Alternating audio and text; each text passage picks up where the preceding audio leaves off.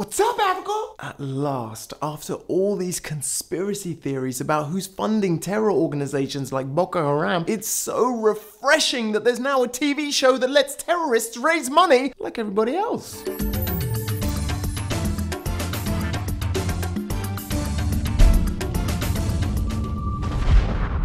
These are the dragons. Africa's most despicable sponsors of terrorism. The Dragons invest their own money, but they'll only invest in tits.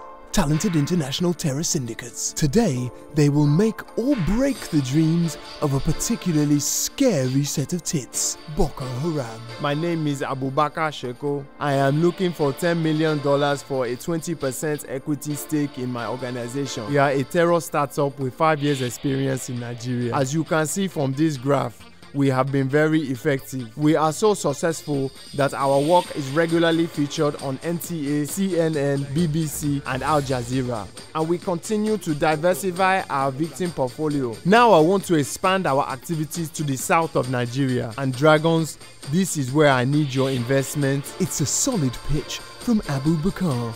But what do the dragons think? Abubakar, this situation is very tricky, oh. You see, I am already invested in a similar business of terrorizing Nigerians with my singing and my mind-blowing music videos. My heart is for This will be conflicting with my interests. I'm sorry. Peace out. And just like that, Abubakar loses his first dragon. But Al Shabaab's Mukhtar Abu Sabir seems interested. Nearly 4,000 killings in four years. Impressive figures. But who's your competition?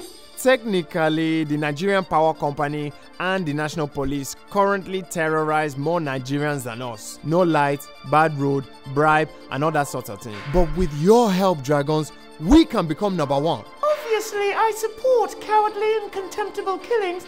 That's why we're in the terror business, right? Am I right? but kidnapping schoolgirls is too cowardly even for me. I'm out. Oh dear. Things are not looking too rosy for Abubakar. $10 million is a lot of money, Abubakar. How do you intend to use it? To buy weapons from the Nigerian army and plenty of Mr. Biggs combo meals for our men. Plus, we are also working on a secret weapon, the Poco Suicide Vest.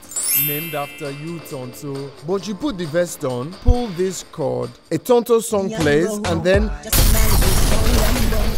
that's it guys, my name's Ikenna Azuike, thank you for watching the show. Next week's will be the final one before a little summer break, so make sure you tune into that on Friday. In the meantime, don't forget to follow me on the What's Up Africa Facebook page, my Twitter account, my Instagram, the YouTube channel, everything! I'll see you again soon for another edition of What's Up Africa!